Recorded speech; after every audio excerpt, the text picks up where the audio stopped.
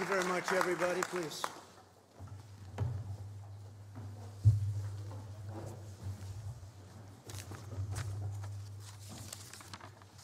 So, welcome to our cabinet meeting, and every member of my cabinet is working tirelessly to defeat the invisible enemy that should have never happened to our country, should have never happened to the world. It's a disgrace. Could have been stopped at the source, but they decided not to do that. But we're going to safely reopen our country and our economy, and it's happening very rapidly. And it's happening Interestingly, when numbers are actually going down, you look at Florida, the state of Florida, did a great job. You look at Georgia, you look at others, they're open, and some are doing extremely well, far beyond what people thought, and the numbers are going down. The numbers that we have been talking about for the last two months, they're actually going down, so it's really terrific. In our drive to crush the virus, the U.S. has completed nearly 12 million tests, and that test, that number today is almost 14 million. Nobody's close. Germany would be second with approximately 10 million less than us, and we also have the best tests. South Korea is doing very well, but we're at 14 million, and they're at numbers that are very small by comparison. What has been done with testing, what's been done with ventilators, what's been done with the distribution of product has been incredible. We've made a lot of governors look very good. We've actually made all of the governors look very good. Some have done a good job, but we've made them all look very good. We got them equipment, and we got them their gowns and their ventilators and their tests like nobody would have thought possible. Vaccines are moving quickly into phase one and phase two trials, and trials of dozens of therapies and cures are underway, and we're making tremendous strides with therapies, cures, and vaccines I think we're way ahead of schedule. And you probably heard logistically, we have our military engaged. And as soon as we have whatever it is that we're going to have, whether it's therapeutic or vaccine, uh, it will be distributed very rapidly. Our military is ready to go. They can deploy hundreds of thousands of men and women a day. And now what they're going to be doing is they're going to be doing the vaccine, which we are geared up for even before we have it but the chances of us having it are extraordinary. Secretary Azar will update us on all that we're doing to safeguard Americans. Be talking in a second. To protect our people and defeat the virus, we must also defend the health of our nation's economy. Secretary Mnuchin will report on the economic recovery efforts and the good numbers that are being produced ahead of schedule. Secretary Carson will update us on the White House Opportunity and Revitalization Council. And Ben, you've done a fantastic job. We appreciate it. He's looked at uh, HUD much differently than people that would have been in the pure real estate business, and he has a, a way of seeing things that's different and really good for our country. And Ben's working on uh, very hard different plans to restore health and prosperity to disadvantaged and minority communities, and that's really working out well. One of the things we're very proud of is opportunity zones. Tim Scott of South Carolina came to me with a proposal, and few people understand how successful the opportunity zones have been. It's a great tribute to Tim and to others in the Senate that helped us with that. The pandemic has shown once again the vital importance of economic independence and bringing supply chains back from China and other countries. I probably got elected. One of the primary reasons was that. Make America great again, America first, call it whatever you want. But we went way out of bounds. We build a car and we go to 12 countries to build a car. I want to build a car from one country. We make the parts. To achieve this goal, we've slashed red tape and bureaucracy and unleashed the largest industrial mobilization since World War II especially when it comes to big things like a ventilator. It's a very big, clumsy, highly sophisticated product. And we have now assembly lines. We're the talk of the world. We're supplying them to other countries. We're helping other countries that are going through this plague, and they're never going to be able to do ventilators. So we are, it's really been an incredible thing what's happened. It's the biggest mobilization since World War II. And we're fighting for the livelihoods of American workers, and we must continue to cut through every piece of red tape that stands in our way, and that's why this is such an exciting meeting, beyond being a cabinet meeting, which is always good, because with millions of Americans forced out of work by the virus, it's more important than ever to remove burdens that destroy American jobs. In a few minutes, I will sign an executive order instructing federal agencies to use any and all authority to waive, suspend, and eliminate unnecessary regulations that impede economic recovery. And we want to leave it that way. We want to leave it that way. In some cases, we won't be able to, but in other cases, we will. And you've heard me say many times, I've said, and I've said it very strongly, that regulations, we've done more regulation cutting than any president in history, whether they're there for four years, eight years, or in one case more. We've done more regulation cutting. I don't mean just in a year or two years. I mean in the three and a half years that we've been here, we've cut far more regulations by a factor of a lot than any other administration, any other presidency. So that's really something. I'm directing agencies to review the hundreds of regulations we've already suspended in response to the virus and make these suspensions permanent where possible. I'm also instructing agencies to use the emergency authorities to speed up regulation cuts or new rules that will create jobs and prosperity and get rid of unnecessary rules and regulations. We had cases where it would take 20 years to build a highway. You'd have to go through various agencies to get the same permit. I lived with it in the private sector, so I know it better than anybody where you go years and years and years to build a simple roadway or a simple building. And it would end up costing an absolute fortune, many, many times what it should cost.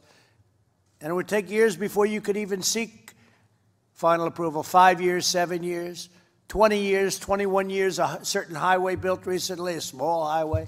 I would call it a road, 21 years to get it approved. And then by the time they get it approved, it costs a hundred times more in some numbers that you wouldn't even believe. We're getting rid of all of that. We're down now on roads, working with Elaine and Department of Transportation. We're down to a two-year period. We want to see if we can do better. We have roads in there for 18, 17, 20, 21 years over the years. I'm not blaming Elaine for that. I'm just saying over the years there have been roads that have gone through a process for many years, roads and highways. So we're going to be getting it down to a year. And maybe it's not going to get passed for environmental reasons or safety reasons, but we're going to know quickly. But if it does pass, it's going to happen fast. Acting OMB director, soon to be permanent director. Where's Russ? Did you hear what I said? Soon to be permanent director. Okay, that's a big statement. Some people would say that's big news. He's done a fantastic job. So congratulations. Well, we have to get him to approve, but. We'll give you a congratulations just prior to approval, right? So you're doing great. Thank you very much. So acting OMB Director Russ Vought will present details on this effort, and uh, we'll go into that. So Russ has uh, done a great job on exactly what we're. He used to come into my office and he'd say, uh, "I think we can cut a lot of different things in terms of regulation." And Russ, I think also very importantly, uh, we'll have a better product. It's actually going to give us a better result. And we're adhering to environmental, the environmental impact studies and all of the other things we have to do to get these permits. But so Russ Vought, thank you very much. I want to once again thank every member of the cabinet for your commitment to helping our nation reopen, to recover and rebuild. I'd like to now ask a man who's done a fantastic job as the head of the task force, He's worked uh, literally, I mean, I think literally 24 hours a day sometimes to make sure everything's gone well. Today we had a uh, really great article by Rich Lowry who uh, talked about the tremendous job that we've done in terms of the task force, in terms of the coronavirus and getting things going and getting people what they need, whether it's ventilators, testing, or many other things. And I appreciated that article very much because uh, there's been a very false narrative. Uh, people have no idea what an incredible job the people in federal government have done, and that includes generals and admirals and lots of others. So I want to thank uh, Mike Pence for the great job you've done, Mike, and please say a few words.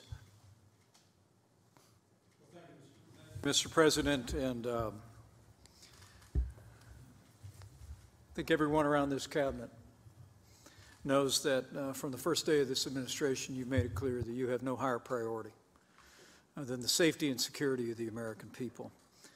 Um, In January, when you took the unprecedented action of suspending all travel from China, before there was a single case of community transmission in the United States, uh, It is inarguable, Mr. President, that your decision bought us a critical amount of time to stand up a national response uh, all across this country. At the same time, in January, you stood up the White House Coronavirus Task Force, uh, and over the course of uh, February, you began to suspend more travel, establish screening uh, at more than 11 airports around the United States, again with the priority uh, of, of of protecting the health and safety uh, of the American people.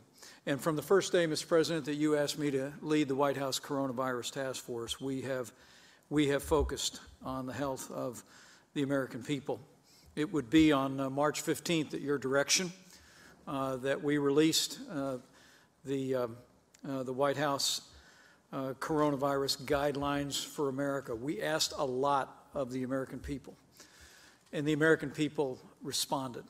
Uh, 15 days would become 45 days, and in that time, it was our objective, Mr. President, as you made clear, uh, to save lives, uh, to slow the spread, uh, to flatten the curve. And because of what the American people did, because of the direction that you gave, and all the dedicated members at HHS and FEMA and all of those around this table who've served on the task force, because of the partnership that you forged with uh, every governor of both political parties across the country, uh, we've made great progress.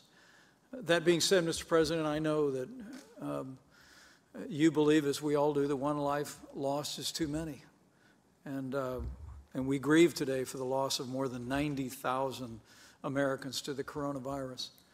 But at a time like this, the first cabinet meeting that we have had since the advent of this epidemic, um, it's important to remember that when we asked the American people to make all of those sacrifices, the estimates before you were that if we did nothing, uh, we could lose between 1 million and 2.2 million American lives. And in fact, even by taking the steps that we took, the estimates were still clear that even if we flattened the curve, that we could still lose 100,000 to 240,000 Americans. And so while we grieve the loss of those more than 90,000 Americans and their families are on our hearts today, we recognize, we recognize the progress that we have made. Uh, among the progress that we made, Mr. President, in, in flattening the curve and slowing the spread was preserving, as you directed, the capacity of our healthcare system. One of the great concerns that we had early on was that our healthcare system, our hospitals would be overwhelmed by the coronavirus. That did not occur, Mr. President. Truth is, as you've reflected many times, uh, because of uh, the ingenuity of the American people, because of our partnership with states, because of a great logistics team uh, that worked with the task force, no American who has needed a ventilator was ever denied a ventilator in the United States. It is an extraordinary accomplishment. And the report that I received today is that the national stockpile now has more than 15,000 ventilators. And because of the public-private partnerships that you've forged, we'll actually see American companies uh, manufacture more than 110,000 ventilators in 100 days.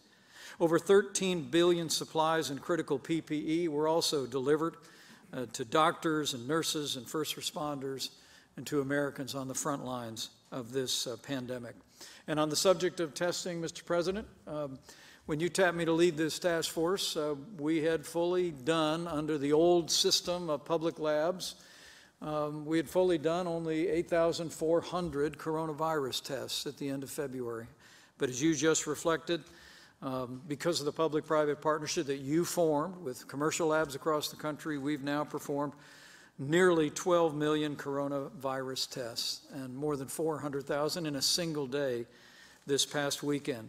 And Mr. President, as I'll share with the team, as we're increasing testing, the good news to Americans is nevertheless, cases are going down. You reflected on that uh, in your visit to the Capitol today and in your opening remarks.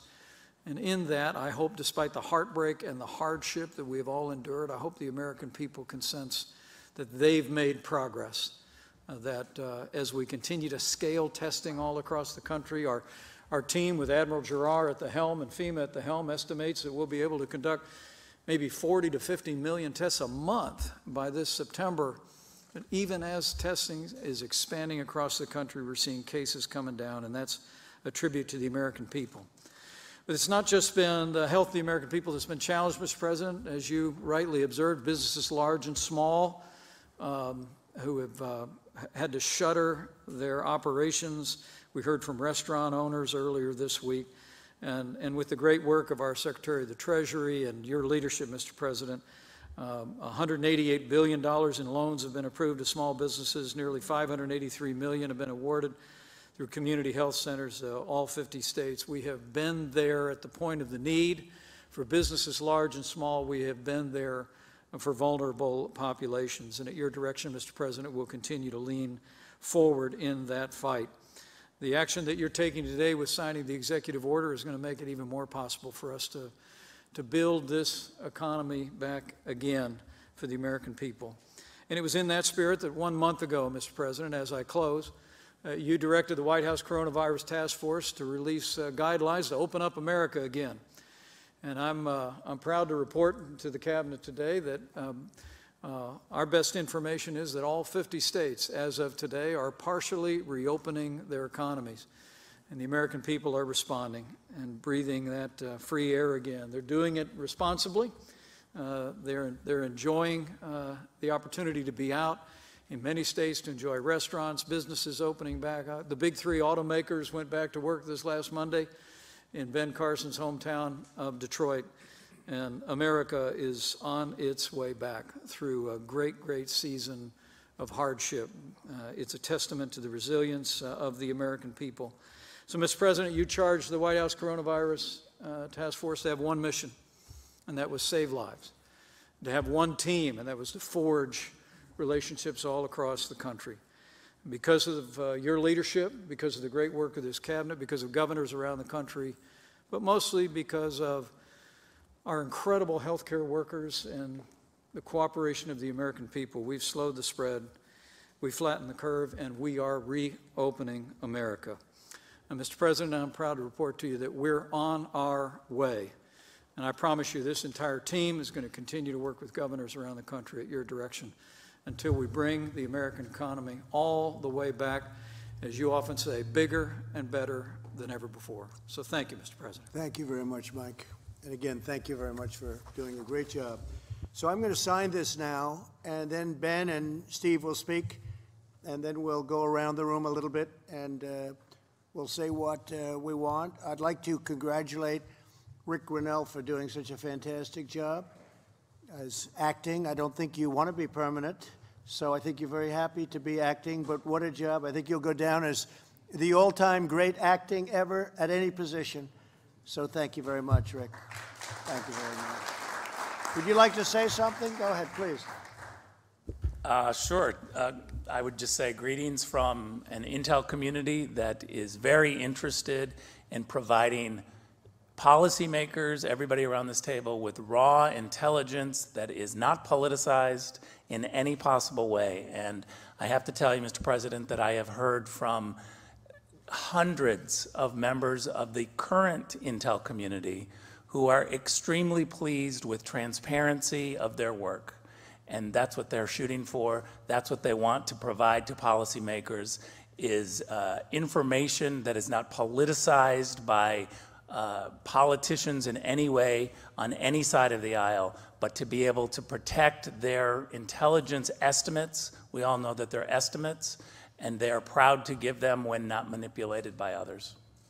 Well, we appreciate your great work. Thank you, Rick, very much. Thank you, sir. Uh, I'm going to sign this now, and uh, so this is regulations are going to be cut. And the potential is that you're going to find regulations that nobody has ever thought of before because you're going to be doing it yourselves. And this gives you great authority to cut regulations. So we've already had the record by a lot. It's not even close. But uh, you'll have a chance to cut regulations. When I look at EPA sitting here, and I look at the veterans sitting here, and I look at all of the different people, Homeland Security, Chad, uh, I look at all of the uh, great talent around this table, you'll have a right to do something that nobody would ever have thought you would have the right to do that. And uh, so I just want you to go to town and do it right, do it proper, make sure everything is safe, and make sure it's environmentally good for those of you that are in that category. But uh, it's very, uh, very important. Elaine, you can do things that nobody would believe in your department, Department of Transportation. So uh, good luck. And I'm signing this. It gives you tremendous power to cut regulation.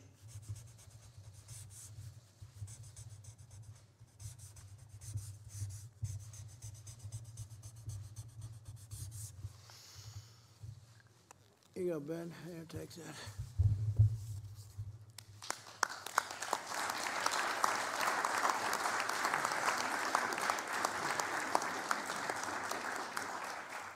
Okay, uh, Ben, would you like to say something, please? Yeah, yes, sir. Thank you, Mr. President, and um, a a big thank you to all the cabinet members. Almost everybody has been deeply involved in the refocusing of the uh, Opportunity and Revitalization Council. And uh, uh, Jared and Christian and Brooke also, big, big help.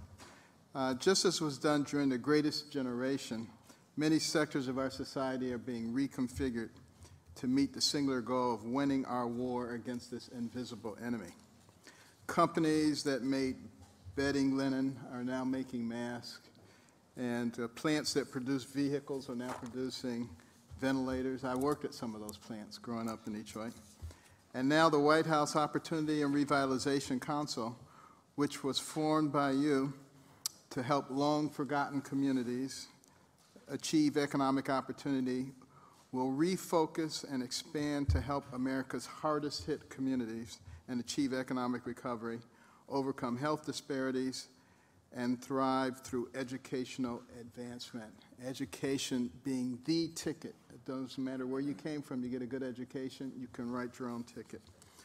Since your historic Tax Cuts and Job Act, billions of dollars from the private sector have been invested in these designated opportunity zones, which are home to nearly 35 million people. Through this initiative, we've fostered partnerships between people who seldom sit down together. We're talking about uh, business leaders, community leaders, faith-based leaders, housing advocates, investors, builders, state and local and federal officials. The Revitalization Council, which I have the privilege to chair, alongside our Executive Director, Scott Turner, who's in, here in this room somewhere.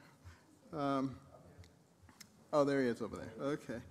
Has played a, a, a big role in the success, identifying more than 270 different federal actions to support and increase investment in opportunity zones through things like grant preference points, loan qualifications, reduced fees, eligibility criteria modifications, and a number of other incentives. And at your direction, we're now taking our considerable capacity to discover opportunity and drive recovery in disadvantaged and minority communities that are disproportionately affected by COVID-19. Based on our work and analysis, the Revitalization Council is identifying diverse policy approaches in areas including housing, education, technology, broadband, workforce, entrepreneurship, health, and long-term community development.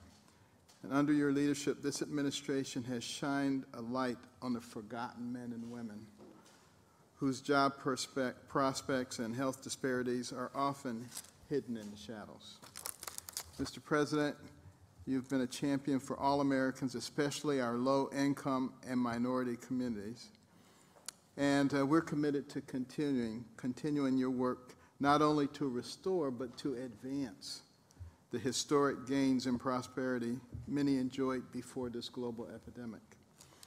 Uh, your council will not only continue its focus to bring more jobs and better jobs, but it will also expand to better fortify public health services that will improve medical and social health outcomes and uplift our most distressed communities. The American people will come out the other side of this crisis stronger and more determined than ever Thanks to the authority you have vested in- in the Revitalization Council, we will leverage these powers to heal America's hardest-hit communities and return to prosperity as safely and swiftly as possible. And thank you for not giving in to the naysayers and to the people who use fear to control people, and instead giving people hope, not with just your words, but with your actions. Thank you. Well, thank you very much, Ben. You know, I had a run against him, and he was very tough.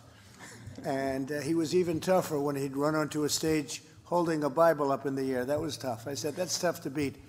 But I said, if I'm ever so lucky, I have to get him in the administration. So that's what happened, and you've done a great job. Thank you very much. Steve, where are we, and what are we doing? Thank you, Mr. President. So I'm pleased to report uh, your administration has been hard at work implementing the CARES Act. We've really made incredible progress over the last month, working on putting over $3 trillion into the economy. Unprecedented amount of support for American business and American workers. And I just want to highlight a few of the things. Uh, working with SBA, we were able to develop the Paycheck Protection Program from scratch. That's now impacted over 4.3 million companies, impacting over 50 million workers, $513 billion, having 5,500 lenders working. And we are extremely pleased that we have increased the number of CDFIs and minority lenders and fintech lenders, now making sure we get this uh, across the country with an average loan size of 118,000. So this program is really impacting American workers. Um, working with the Federal Reserve, I have approved nine special facilities totaling about $2.5 trillion. That's about half of our capacity. And in particular, I'd just like to highlight the Main Street Lending Program, which is for small and mid-market companies, will be up and running by the end of this month. And then I would just comment on uh, the economic impact payments, Mr. President, have really had a big impact. We've delivered over $239 billion to 141 million Americans. And I want to highlight, we couldn't be more pleased, 114 million of those we did direct deposit into people's accounts. We did 27 million checks. And Mr. President, we now have developed debit cards. So uh, in an effort to expedite money to people even quicker in a very safe way. Uh, I'm pleased to show you what a debit card looks like with your name on it, Mr. President. Now, there's no money for you on it. This is a blank debit card, but I want you to see what many Americans will now get uh, so that we could get their money to them even quicker. And going forward, we think debit cards are a safe and secure way of deli delivering refunds. So Do I sign the letter again, or not? The next time we send money, you'll get to send another letter. All right, thank you, Steve. Steve has had a great career. He had a great educational career, a tremendous student, and uh, went on to very, very tremendous business success. And uh, all of that experience was necessary for what you're doing, right? But uh, there's nobody better with money and controlling money and handling money, so I want to thank you very much. Thank you. Thank you. Alex, please say a few words. Well, thank you, Mr. President. Uh, You know, your top priority has always been the health, safety, and well-being of the American people as we've been going through this pandemic, and that's been our priority throughout this crisis. We've got to get life back to normal, and we've got to restart the roaring Trump economy, and we have the tools to do that. The right mindset for reopening is not about balancing health versus the economy. It's actually about balancing health versus health. Um, by one estimate, the virus-induced recession will see an extra 65,000 deaths from suicide, drug overdose, alcohol abuse in the coming years, possibly even more. States are seeing a decline in the reporting of child maltreatment uh, because kids aren't at school. They're not seeing doctors and teachers who would otherwise report maltreatment in the home environment, and so it goes unaddressed. Mammograms are down 87 percent colonoscopies are down 90%. Approximately 1.7 million new cancer cases are diagnosed per year in our country, and if we're seeing an 80% drop in cancer cases identified, we could already have 300,000 or more undiagnosed cancer cases as a result of this crisis. A CDC report found a 60% reduction in vaccine administrations, including for our kids, pediatric vaccinations, millions of kids not getting vaccinated. The good news is that under your leadership, we built a path forward so that we can have safe reopening.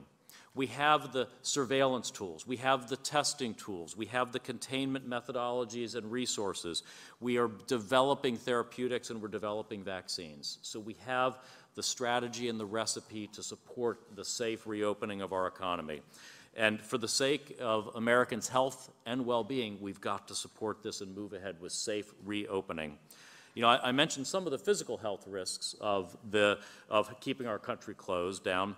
But we have here today with us our Assistant Secretary for Substance Abuse, for, for, for Mental Health and Substance Abuse, Dr. Ellie McCance-Katz, who's a psychiatrist and is the first ever psychiatrist to lead SAMHSA. And she, if you don't mind, was going to say a couple words really about how extended stay at home orders can impose really lasting mental health challenges for us, if that's okay, Mr. President. We'd love that. Please, Doctor.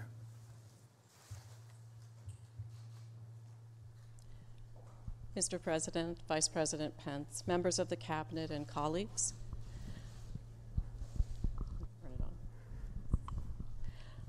As I've listened to states and communities struggle with mental, mental illness issues that have arisen as a result of the virus, I wanted to ensure that governors yesterday heard these concerns from a medical perspective. As my physician colleagues on the task force have been careful to rightly note, their perspective and advice centers on one aspect of the pandemic virus containment. However, even medically, it is not the sole perspective. I felt that it was important to offer the governors a different, albeit equally important, medical perspective. As such, I made the following remarks. It is my privilege to serve as the Assistant Secretary for Mental Health and Substance Use, but today I really speak to you more as a psychiatrist who also happens to hold a PhD in infectious disease epidemiology. Never did I imagine the nation would be experiencing the coinciding of mental health issues and infectious disease that my training addressed. The research literature is clear on the effects of quarantine and stay at home practices on mental health. We know that the longer the duration of these orders, the greater the intensity of the mental health problems experienced. We also know that these symptoms persist for years to come, even once quarantine is lifted. The data tell us that when the lives of adults, children, and families are drastically changed for extended lengths of time, for many, anxiety, depression, and stress disorders will become manifest and will persist. These are real health conditions with potentially long lasting consequences that must be taken seriously. To put all of this in perspective, I believe it is important to point out that pre pandemic, we lose 120,000 lives a year to drug overdose and suicide. How many more lives are we willing to sacrifice in the name of containing the virus? When we look at strategies to reopen, as a medical doctor, I ask that you take into account whole health not just one narrow aspect of physical health. We continually ask ourselves what the health costs and risks may be of reopening, but I ask what might they be of not reopening or reopening in such a restrictive way that American lives are not restored. Of course, containing the effects of coronavirus are critically important, but so too is preventing suicide. So too is keeping a person from being terrified to ever leave their home. So too is protecting the mental health of our nation's young people. I ask you to remember that not every home is a safe home. Not every individual can withstand the trauma of not seeing or interacting physically with loved ones. Not every parent can survive the mental anguish of not being able to feed their children because of lost employment. Not every child can exist in a healthy way without the structure and support of school. We have to take a step back and recognize the other effects of our policies. While we contain the virus, are we increasing the risk for suicide and drug overdose? Are we creating a future of substance use and addiction for millions of additional Americans? And if we are doing those things, why have we decided collectively that this is okay? We've worked so hard in states and communities across this country to combat epidemics like the opioids crisis. Why are we willing to forget those efforts now or deem them less important?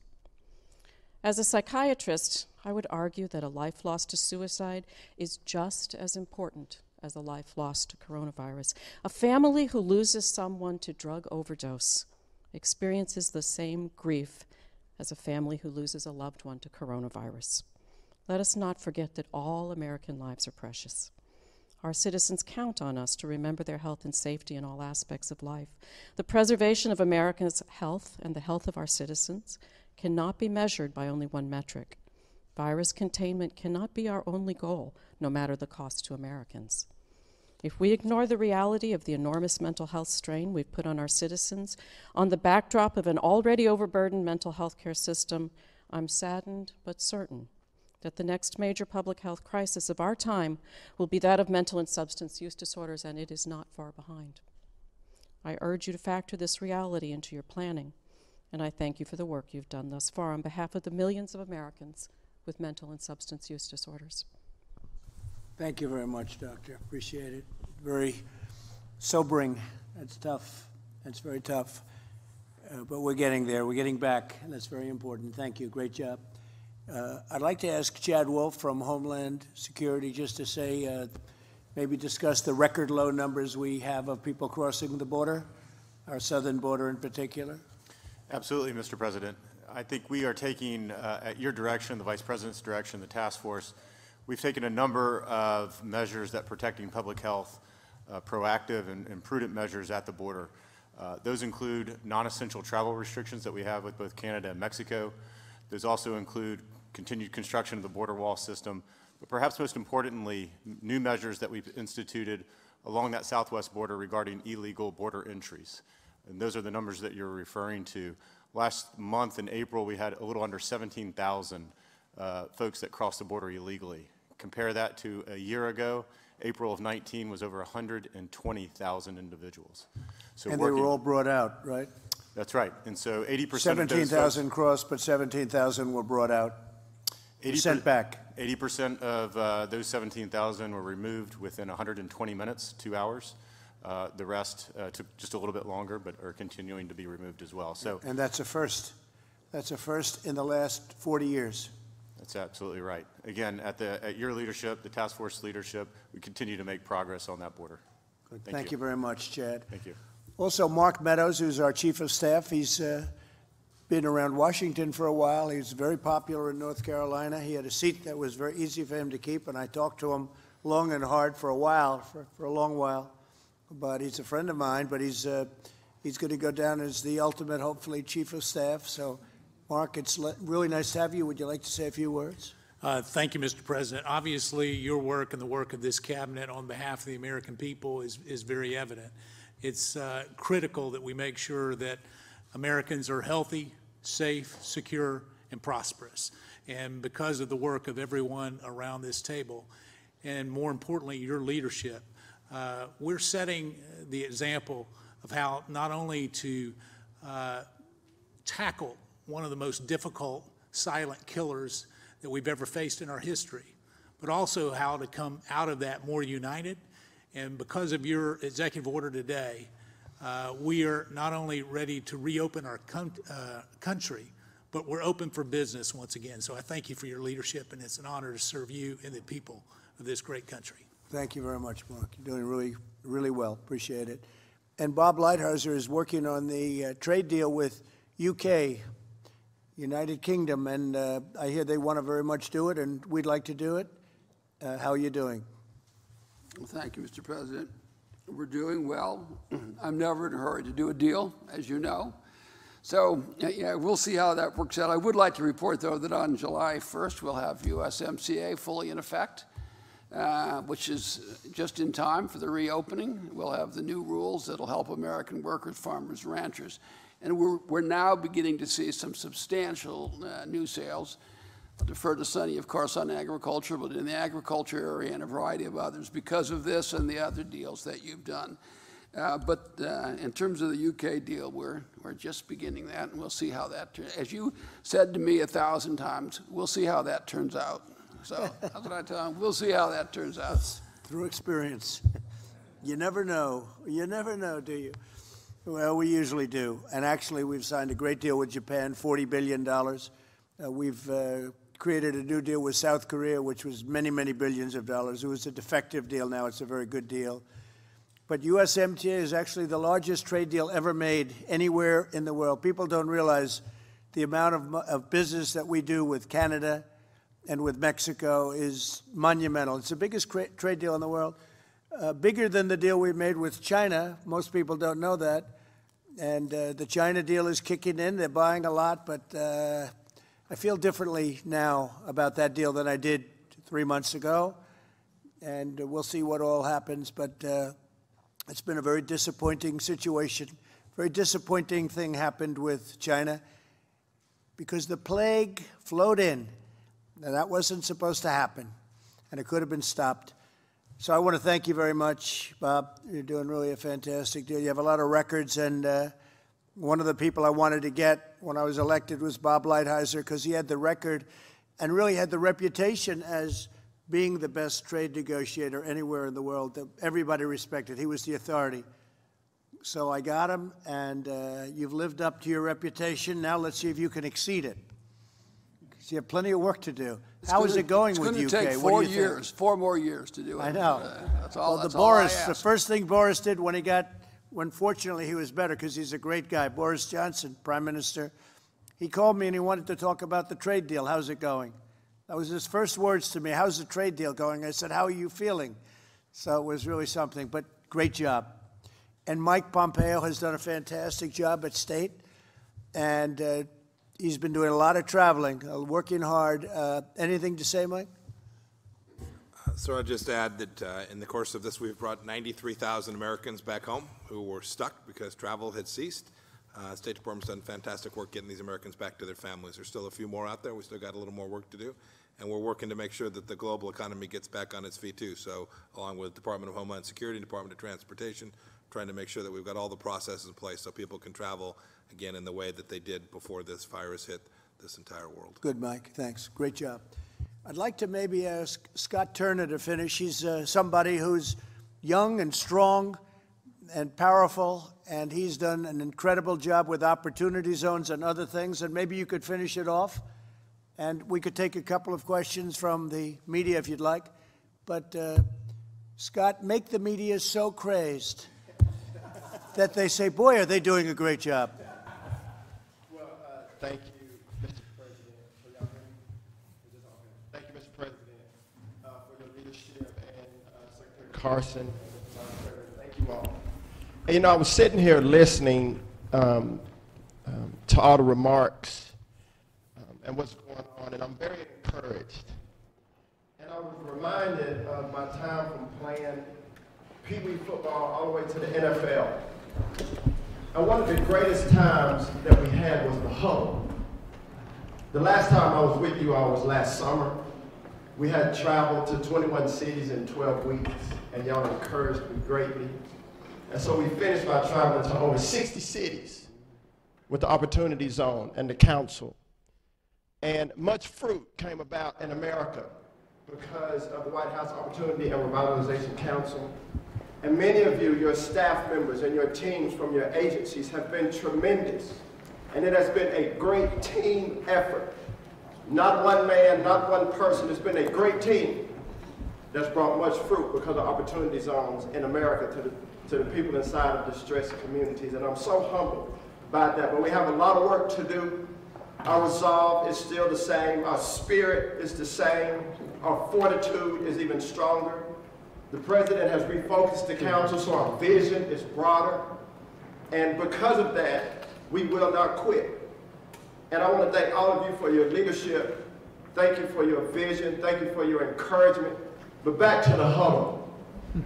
In the huddle, it was a time to refocus. It was a time to reset and to encourage one another. I know you got beat on that play, but you won't get beat on the next one. And we have you, we have your back. We were a team. The enemy was on the other side of the ball. In America, we are a team. The enemy is COVID. And I want to remind everybody in the room and everybody listening in America, we're all one team. This is the huddle today. We're encouraging each other. We have each other's back. We know to anticipate what's happening on the next play. We have a great game plan. We got great leadership all around the room. It's a tremendous team. And it's called the United States of America. COVID will get whooped. It will. But it's going to take all of us. And I say that, Mr. President, because this is a blessing to me to be in this home. But when we say ready, break, the enemy better look out.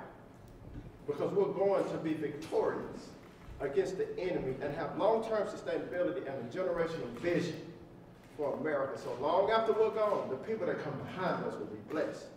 So I want y'all to be encouraged. And thank you, Mr. President. Thank you, Dr. Carson and Mr. Vice President, all of you for your leadership.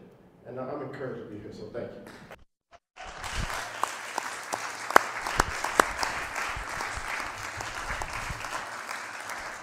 So, you know, we have a couple of seats available, congressional seats, where I'm not overly impressed with the candidate. And I think, would you like to move to a little different section of the United States? Because I could guarantee this guy would be in Congress in about two minutes. And, you know, I know somebody that knew Scott from the NFL. I said, What kind of a player was he? He said he was fast, but more than anything else, he was tough. He was just mean and tough. And that's what we want. He's tough, but he's got a great heart. He's got a great heart. And I've known him now a long time, Scott. And we're lucky to have you. Thank you very much. Thank you. Fantastic. Drew, tough. Okay, any questions, please? Yes. Steve, go ahead.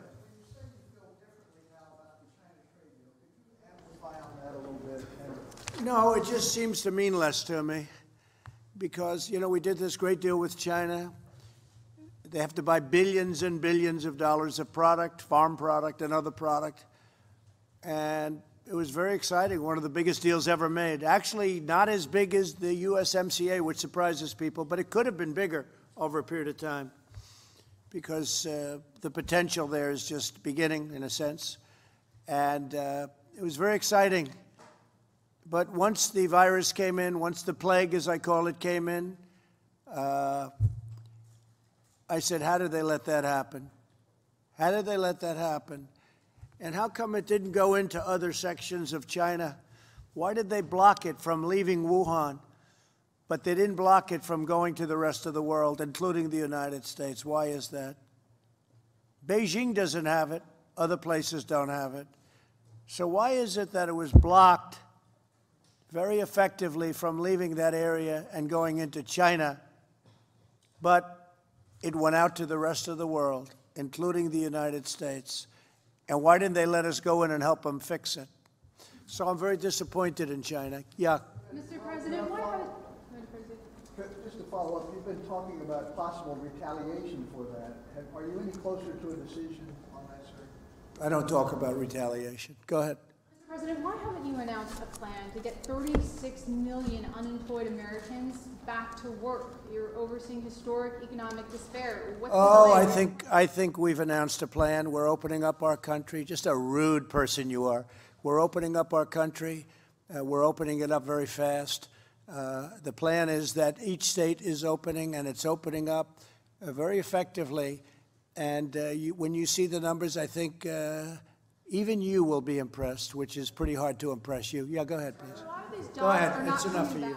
Go ahead. Thank you, Mr. President. Uh, Canada has confirmed that the border is going to remain closed until June 21st, 10 days before Right. the UMS, USMCA. Aren't you worried for the economy of the border states? Yeah, we do, and we speak to Canada all the time. Obviously, the relationship is very good with the Prime Minister and myself, and with the two countries. You know, Canada's uh, our neighbor. We have a great relationship. We love Canada. Uh, so we're going to be talking, and at the right time, we'll open that up very quickly. That'll go very easily. Yeah, please. Happen, it could happen before June 21st? Uh, yeah, it could. Sure, it could. They're doing well. We're doing well. We're both doing well. Thank you. Uh, Mr. President, you've said repeatedly that the United States is now the king of ventilators and that we have so many that we're sending them uh, overseas, selling them, and then in some cases actually gifting them to other countries. Um, my question is Are you looking to use these diplomatically to strengthen ties with other nations and counter Chinese influence in some parts of the world? No, I'm not looking to do diplomatically. I'm looking to save lives. If we can save lives of another country, that's a great thing.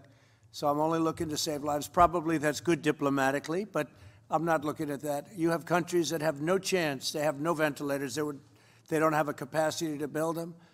And we're sending hundreds and even thousands, and we have thousands now, and they're being produced at a very rapid pace. Jared and his whole team of geniuses from Silicon Valley and other places came in, and they've done an incredible job. So we have them by the thousands. We had none, essentially. We had very few, and they were obsolete. They were broken. Uh, we're building not only a, a, lot of them, but we have a very high quality ventilator, one of the highest. So countries know that, and they're calling us and they're asking for help. They need help. So I, I, I only think in terms of saving lives. Uh, the country, uh, we've gotten some very unusual calls from people that normally wouldn't be calling us too easily, calling, asking for help. You know, you can get swabs and you can get gowns and you can get a lot of things, but getting ventilators is very tough, very, very tough, because uh, it's a very complex machine, very expensive machine.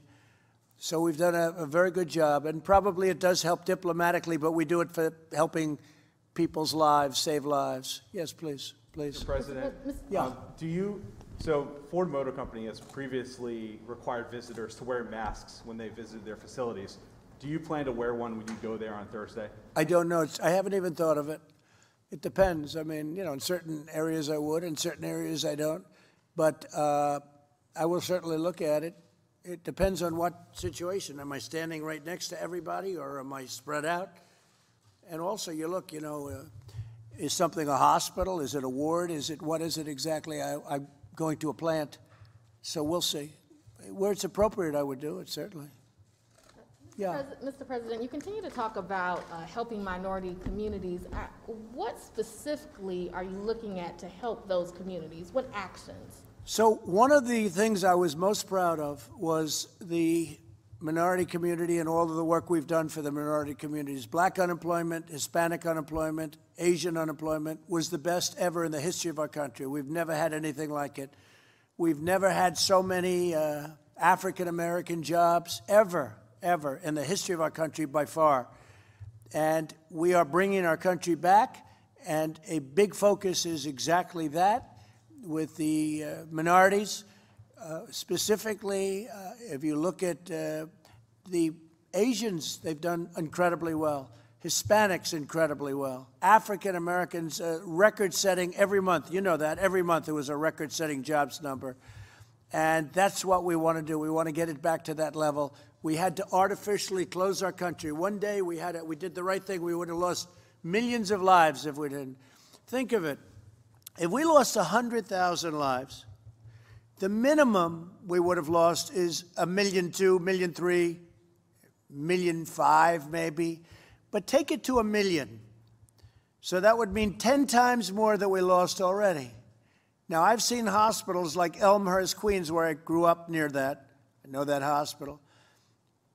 Where they had one day 11 body bags in a hallway, and they had some outside. And that they had refrigerated trucks coming to take bodies away. Now multiply that times 10. It would have been unacceptable. And that's the lowest number possible. It probably would have been times 20 or maybe 25. So we did the right thing, but now we have to get back to work. And we want to open up, and the people want to open up. But we've learned a lot about the disease. We've learned about distancing. Nobody ever heard of social distancing before. We've learned about the washing of hands. I used to wash my hands a lot, but I tell you right now, I wash them more. We learned a lot. And we also learned how to put out the embers or the fires, whatever may come. We learned without having to close down the whole country. And we have big sections of our country that don't have much of a problem. We have some sections that don't have any problem at all. So we're opening up our country. We're doing really well. And most excitingly, we're working on vaccines, therapeutics, and cures that are really moving along at a level that nobody would have thought possible. And the military, I could say Mark Esper. Okay, you know Mark Esper. He's become a very important person in the world of medicine because his military is going to be distributing, whether it's uh, therapeutically or whether it's uh, cures or whether it's a vaccine. Uh, and, and by the way, I have to say all three are doing unbelievably well, but Mark and the military are going to be getting them out. So he has hundreds of thousands of people that he is immediately that work for us right now. They're fully ready to deploy. They're ready to get the job done. They'll be doing it in a record business. And everything we've done with the military has been terrific. Uh, we've had admirals, we've had generals. I remember when Crying Chuck Schumer said, We should get the military involved. I said, They are. He said, We should use one of our generals. I said, We do. Our generals have done a great job, Jared, right? And our admirals have done a great. We had everybody involved, and they are tremendously talented people. And this isn't what they do. They fight. They're great fighters, and they fight. But uh, yeah, the minority communities are really going to be well served. I think we are going to get that right back, and this includes everybody. This includes our whole country, but right back to where it was, which was record-setting numbers. What are specific actions right now that you are considering for those communities? Uh, right now, we're opening up areas, and a lot of people are getting jobs. I heard some numbers yesterday that were really incredible. The amount, percentage wise, of the country that opened up so quickly over the last few days. I think you're going to see some very big numbers, and I think next year is going to be an incredible year economically. You can never make up for all of the loss of life. You can never do that.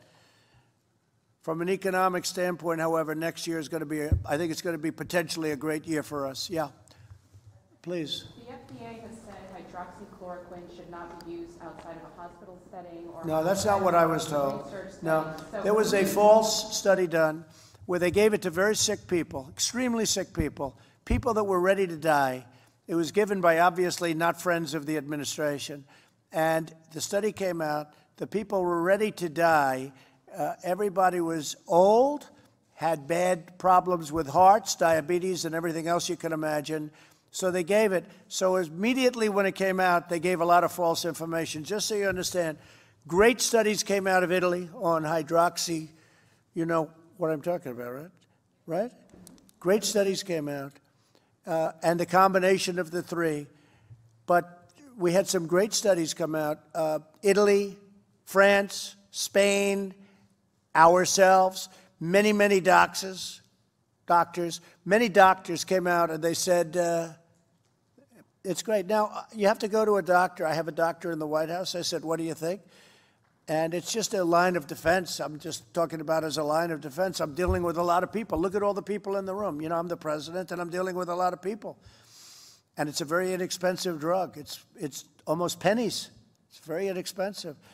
Uh, and it's been out for close to 70 years for a couple of different things, right? Lupus and malaria and even arthritis, they say. But I think it's worth it as a line of defense, and I'll stay on it for a little while longer. I'm just very curious myself, but it seems to be very safe. But that study was a phony study put out by the VA. Uh, you may want to talk about that. I mean, we could talk about that if anybody wants to, and maybe I'd ask Alex, Alex to talk about then. If you would introduce our great talented head of the VA and let him say a couple of words. But that was a phony study and it's very dangerous to do it. The fact is, people should want to help people, not to make political points. It's really sad when they do that. Go ahead. Yeah, so hydroxychloroquine has been approved by the FDA for decades here in the United States for the treatment of malaria, for the prevention of malaria, treatment of lupus, treatment of rheumatoid arthritis. And the system we have here in the United States that is once a drug has been approved and on the market, a doctor in consultation with a patient may use it for what we call off-label purposes, which are indications that are not yet proven and not yet in the label.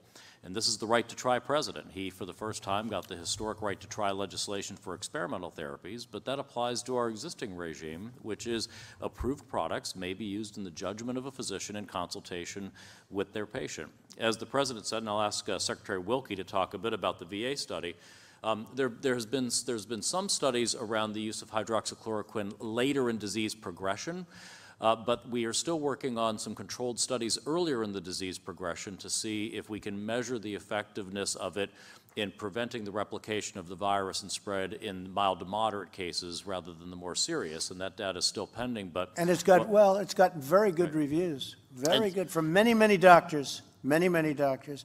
Uh, Secretary, please. Thank you, Mr. President. I, and I want to clear up something uh, that the- the media has not reported accurately. Uh, That was not a VA study. Can you hear him? Because I think it's important. You asked the question. Yeah, that was Do you want to not- listen? Because I don't even think you're listening. Yeah. Go ahead. That Why don't you was- that listen to him? That, that was not a VA study. Uh, Researchers took VA numbers, and they did not clinically review them. They were not peer-reviewed. Uh, They did not even look at what the president just mentioned, the various comorbidities that the patients who were referenced in that study um, had. Uh, I also want to echo what uh, the Secretary of HHS said. The instructions I received from the president were very clear, and that was to preserve and protect life. Uh, Those of us who've had a military life, some of us around this table, we've been taking this drug for years. As the president mentioned, Department of Defense and VA have been using it for 65 years. On every, any given day, VA uses 42,000 doses of this drug. And what we did when this virus first hit us was to use every means necessary to help preserve life. Um, we believed that the Congress was right, and the President signed legislation to protect life, the right to try. And we did this in consultation not only with the families of those veterans, but we did this in consultation with our doctors under FDA guidelines. So I want to knock down the phony story that this is somehow the VA going back on what the president told us to do, which was to use every means possible to protect and preserve the lives, the lives of our veterans. And I think, um, as the president mentioned, we've seen in many cases across this country. Uh, in fact, I, I was on the news the day that the governor of New York was asking you for tens of thousands of doses. That's right. Um, uh, we are doing everything we can to protect uh, the lives of our veterans, uh, and this is one of the means that we used. Thank you. Hydroxychloroquine is used by thousands and thousands of frontline workers so that hopefully they don't catch this horrible disease or whatever you want to call it. Uh, it is uh, a terrible virus. It's a terrible thing. And a lot of people are taking it. A lot of doctors are taking it. A lot of people swear by it. It's gotten a, a bad reputation only because I'm promoting it. So I'm obviously a very bad promoter. If anybody else were promoting it, they'd say this is the greatest thing ever, but because of me. So a lot of doctors swear by it. I think we can say that, Mr. Secretary. Uh, a lot of doctors think it's great. Uh, but the one thing that is true, one way or the other, whether you like it or not, it's been around for 70 years. Unbelievably effective for malaria and for lupus, and probably effective for arthritis. And what has been determined is it doesn't harm you. It's a very powerful drug, I guess, but it doesn't harm you. And uh, so I thought, as a uh, frontline defense, possibly it would be good. And I've, I've had no impact from it. I've, I've had no, I feel the same. I haven't changed. I don't think too much. And at some point, you know, I won't take it. Might be soon, might be a little bit. It doesn't, it doesn't seem to have any impact on me but it seems to be a uh, extra line of defense, and it's gotten tremendous reviews from some people, including many, many doctors all over the world. And you should look at some of the studies.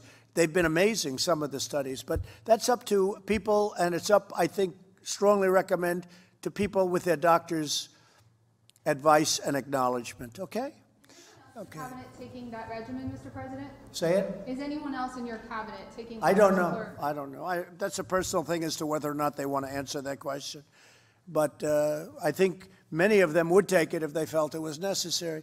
I also had a case where we had somebody fairly close to me, uh, very nice young gentleman. He tested positive, and he tested positive. Plus, I deal with Mike a lot, a lot, and Mike had somebody very close to him who I also see who tested positive.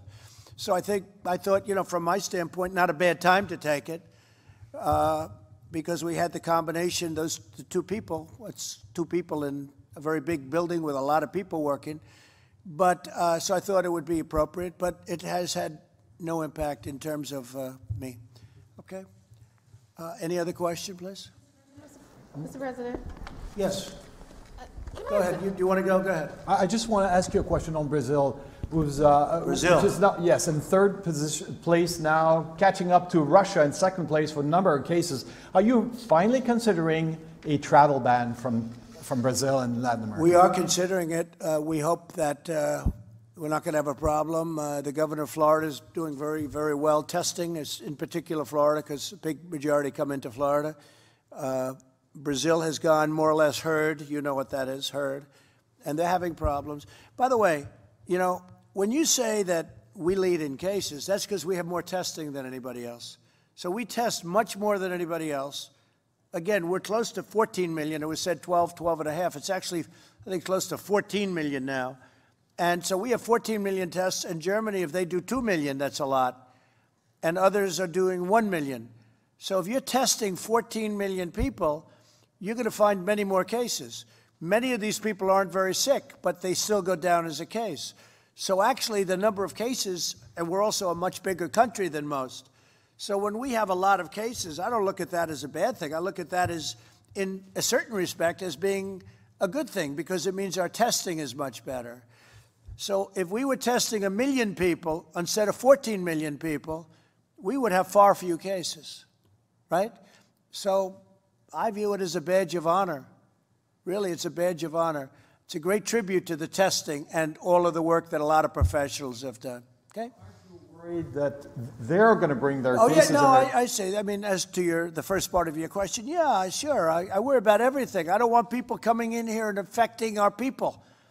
I don't want people over there sick either. We're helping Brazil with ventilators. We're sending them ventilators. Okay, they they need ventilators. I'm sending them ventilators. We have so many thousands of them. We're sending them.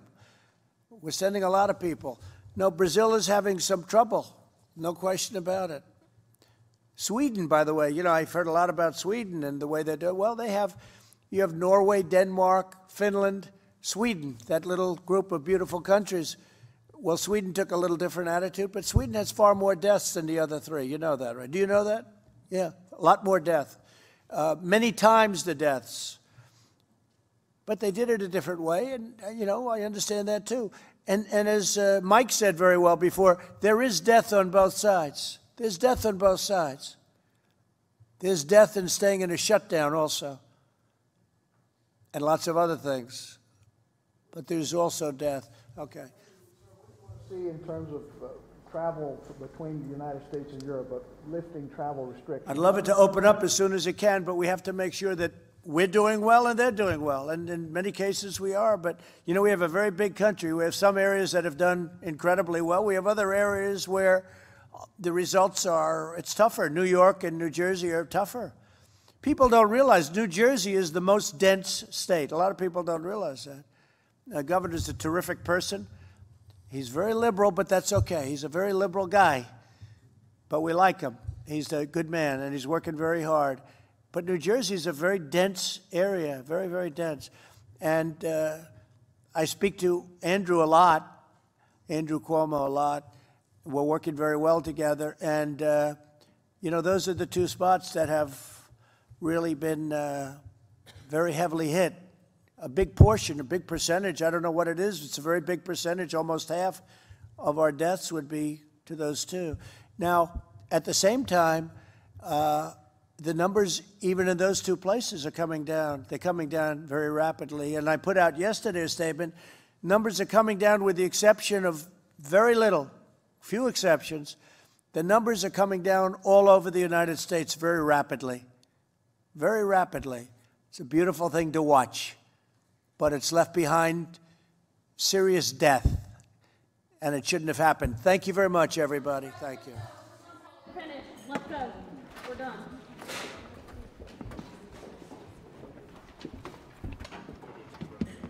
Come on, quickly, let's move.